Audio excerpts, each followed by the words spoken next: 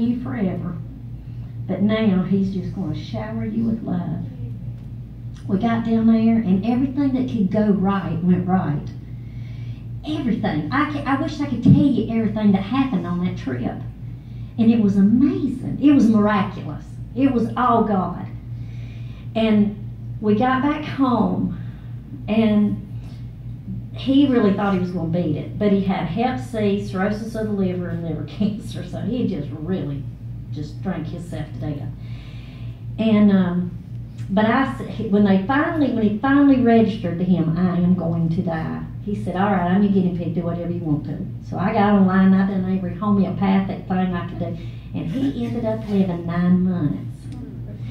And he did get saved, and I got to have a front row seat and he come off that altar and hugged me and told me how much he loved me and thanked me for never giving up on him. And I, I, I saw God.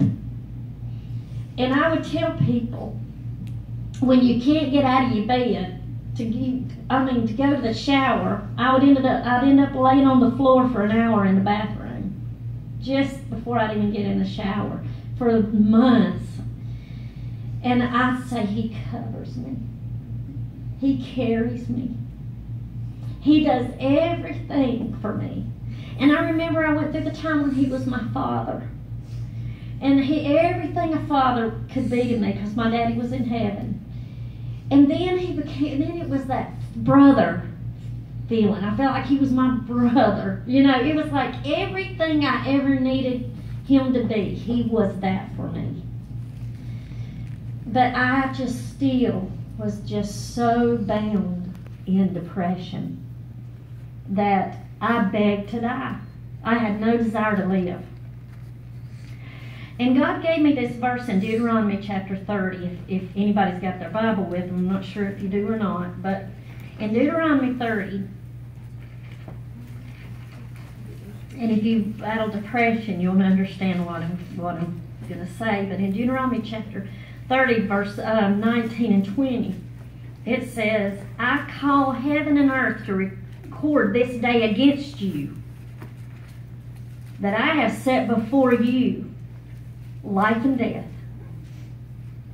blessing and cursing. Therefore, choose life, that both thou and thy seed may live. Now, I'm not going to lie to you. My family was like this when he left, and it rocked my children and my grandchildren, and it's it's been tough, and we have struggled. But when it said that thou and thy children may live, you know, I hold on to that hope that everything's going to be all right. And so I chose life. There was a day that I said, I can't keep dying. I've got to choose life. So a month after Mark died, that's when I met Steve. And he was crazy as I'll get out. And everybody that knows him knows that. He's crazy. And that's I think that's why he loves the preachers good. Because anytime the preacher says something funny, I mean, it tickles him to death. It's like somebody has just given him a thousand dollars. He eats it up. He loves it. And he told the preacher son, he said, if you if you keeps threatening, preacher keeps threatening to take a lap.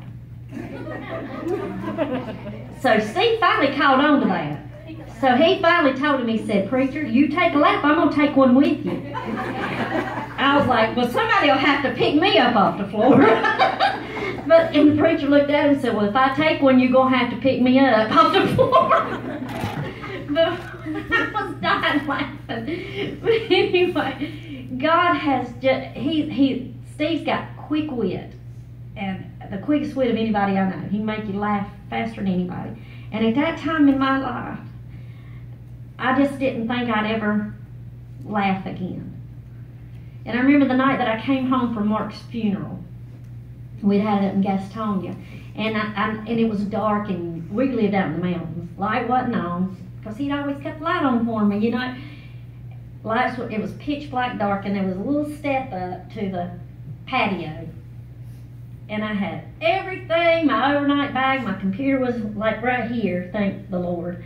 And I hit that thing with my foot and I landed like a tree. Busted my nose, thought I broke it. Mouth was pouring blood, and I laid out there on that patio for I don't know how long and just cried. And I was like, here I am again. Here we go again. But God had, He hadn't quit on me. And, and I never, never thought for a moment He had forsaken me because He was my friend. And I knew His presence was there for me. And so um, I just wanted to give you these verses. And I don't, am I, is it time for me to quit? It is, I am. Um, John 10 10 says, The thief cometh to do three things. What does he come to do? Steal, kill, and destroy. And I watched him do that to my life and my family and my ministry. I watched him do that.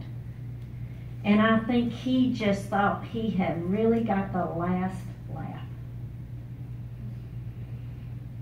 And then the Lord said, But I have come that, Susan, you can again have life and have it more abundantly.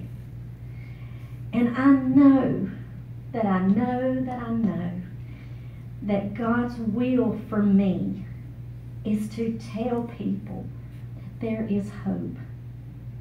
When you're begging to die, when you think that's the sweet relief, when you think there's no reason to take another breath, because Satan has stolen everything that he you feel like he can steal from you. Don't give up hope. Because he's he started a work in you and he said he's going to complete that work. And everything that he allowed to touch my life, he he had a reason. And it's not my ways. It's not my plan. But his ways are so far above our ways. And if you can just hold on he will prove to you that it's going to be okay. But you got to quit listening to the voices. Because there's some awful, awful voices. Mm-hmm. My daughter, and I'm going to be honest with you, thousand, at least a thousand texts, emails, letters. I I had letters stacked up. Golly, it, it was high all across the world to me. But my daughter would have to read them first because some, for some reason, there were women out there that felt like they needed to tell me what a failure I was, or my husband would not have left.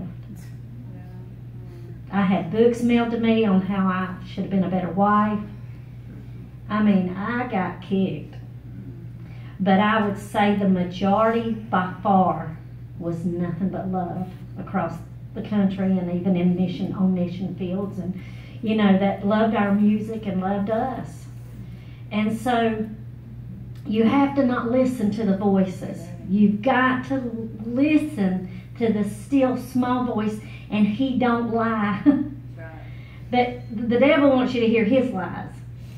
And you've got to be careful what you're listening to and so but he said that we he came that we might have life and that we might have it more abundantly the only thing that stopped me from taking my life was my son, that I knew he needed me. So I never knew those years back when we adopted him that he was going to play such a pivotal role in this because I'm telling you, you can get so low. And I know preachers that's taken their life that I've been very close to that I never thought I would reach that point. But you you just got to be careful. I'm telling you, the darkness can get very, very dark. But what I was going to say is, God, He He gave me this verse about the millennial reign. and this kept me from taking my life. Was Cody and then when do you realize the way that we're on this we're on this earth, I'm gonna close with this, but we're on this earth for a vapor life. Three score ten, whatever, you know, life is a few days full of trouble. This is a few days time. And how we live for him here is how we will reign with him in the millennium. And Eddie Davis taught me that, and a, and, and, and a preacher named Johnny Jones in West Virginia. And I caught that. And I said, I guess it's that spunk of a Holbrooks in me. I want to reign with you. A thousand years is a long time.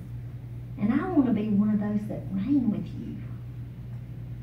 I want, I want to be that close to you, Lord, in the millennial. And if I do what the devil's wanting me to do, that's not going to be a good ending. And so I started focusing on the kingdom. Not this world, but on the kingdom. And he has given me. I'm a, I'm a person that beats myself up. I, you know, there's a verse that says, if you don't, if you judge yourself, he won't judge you. I don't I kill myself. I judge myself so bad. But let me say this. I just want him to be pleased with me. And I don't want to hurt nobody.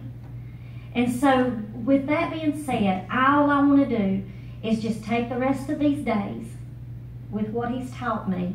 And I'm going to give you the, in, in this morning, the Lord showed me this in Colossians 3.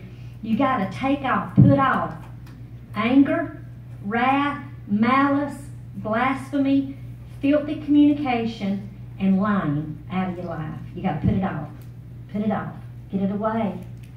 And then when you get all that off, he says, put on mercy, kindness, humbleness of mind, meekness, long suffering, forbearing one another, and forgiving one another. And he says, charity is like the bond that puts all that together and keeps it on us.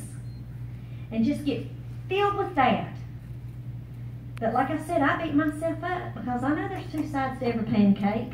and I know my faults in the in the marriage. I know that. But I took it on me and beat myself up over it. Until two I know this is gonna sound crazy because it's been be eleven years this year. Until two weeks ago I was freed from that bondage of, of guilt. And David said, and I've been asking Lord about this for 10 years.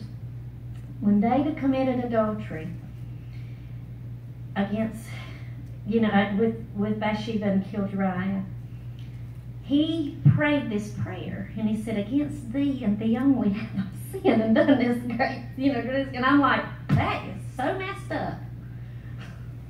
You know, because I would say, He did that to me too, God, not just you. Y'all talk to God like that. and I'd say, well, he did it to me too. And I pondered that thing for years and in anger. Didn't understand it. And two weeks ago, God said, Susan, you got to realize something. He did that to me. If he had loved me, he would not have done that to me.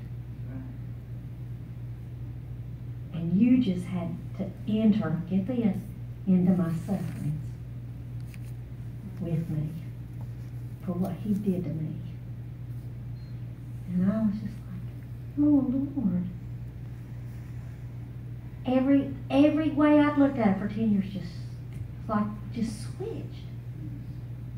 So when people do you wrong, and just and you feel like hurts you so bad or destroys your world, just remember they did that to their God. And and it and when we hurt from it, we're entering into the fellowship of his suffering. And that's a sweet place to be. and so I just, I hope that I leave you tonight with hope. That's the biggest thing that I, that I want to leave you with. Because he said, let the peace of God rule in your hearts and be thankful. In everything, give thanks. For this is the will of God in Christ Jesus concerning you. Not, I'm not saying I'm thankful for what happened, but I'm thankful in it. Does that make sense? Mm-hmm. So in everything give thanks, for it is the will of God in Christ Jesus concerning you. I'm I'm alive. Amen. I didn't take my life. Amen. I, I my children still have their mom. Amen. My grandchildren can still see my mom. And Satan did not want that.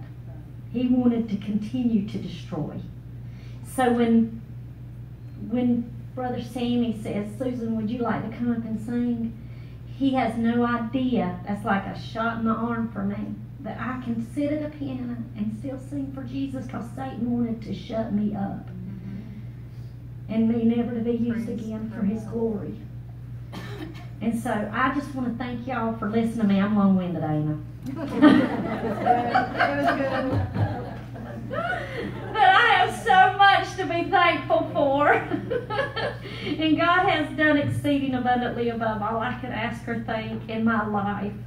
And I'm just thankful to be here. And I'm thankful for the oil that's being poured on us. You know, when we walk through those doors. And and God is just He's just so perfect. And He does all things well. Amen. Thank you.